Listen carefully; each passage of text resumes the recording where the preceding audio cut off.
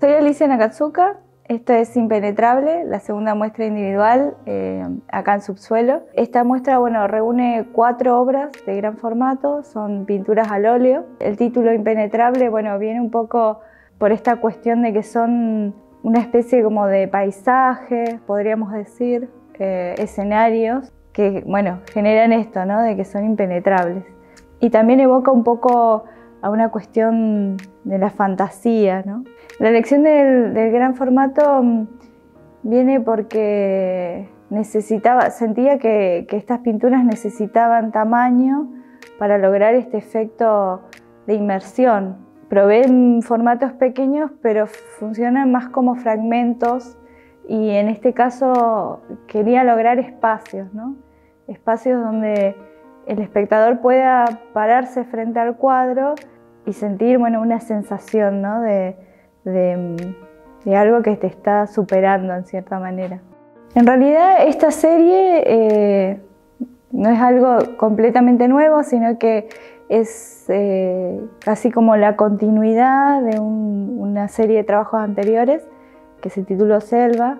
Yo vengo trabajando hace tiempo em, con motivos vegetales, eh, construyendo estos, yo le llamo escenarios, em, y bueno, creo que tiene que ver con mi lugar de origen. Yo soy de Misiones. Em, más que nada por, por, esta experiencia del paisaje, ¿no? O sea, no son paisajes para nada eh, realistas, no son eh, representaciones naturalistas de, los espacios, pero sí eh, creo que hay una fuerte influencia de cómo es la experiencia de meterse en, una selva, en un paisaje misionero. Em, sentir que estás rodeado de cosas, que el paso en cierta forma se te, se te cierra. ¿no? Mi idea es que el espectador cuando se para frente a una de las pinturas, la mirada empiece como, no sé si a rebotar o a vagar dentro de esa imagen. Eh, y la decisión de este montaje un poco intenta replicar ese mismo, ese mismo gesto, ¿no? Como mantener al espectador dando como vueltas dentro de, estos de estas cuatro pinturas. Em, y bueno, y también la galería tiene la particularidad de que está en un subsuelo, permite generar un espacio oscuro eh, y eso también ayuda a, a, que estas pinturas estén como flotando ¿no? en el espacio.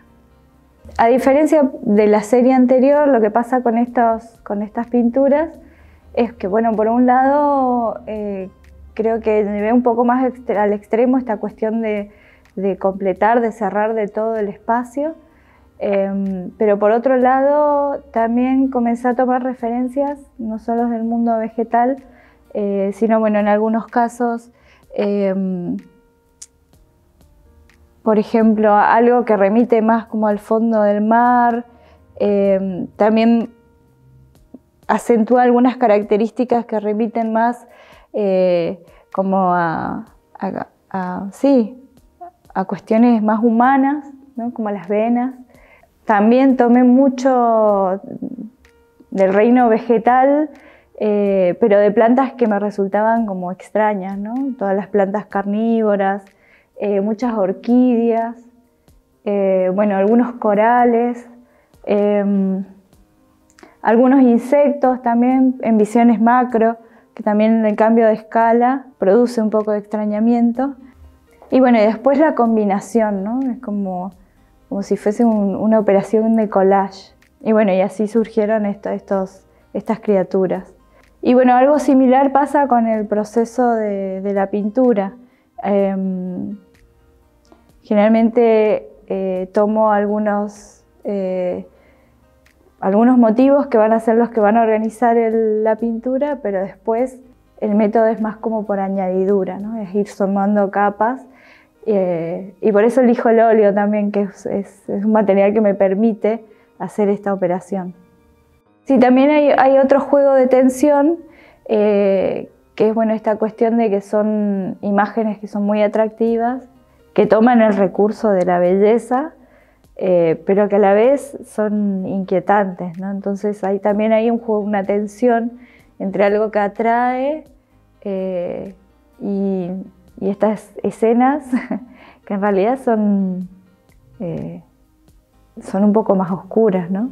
En estos últimos trabajos yo creo que ya empieza a pasar otra cuestión que bueno, sigue estando latente, me parece, el, tema del paisaje, pero creo que se está soltando cada vez más y por eso creo que también se están generando estas imágenes que son eh, fantásticas, ¿no? imaginarias.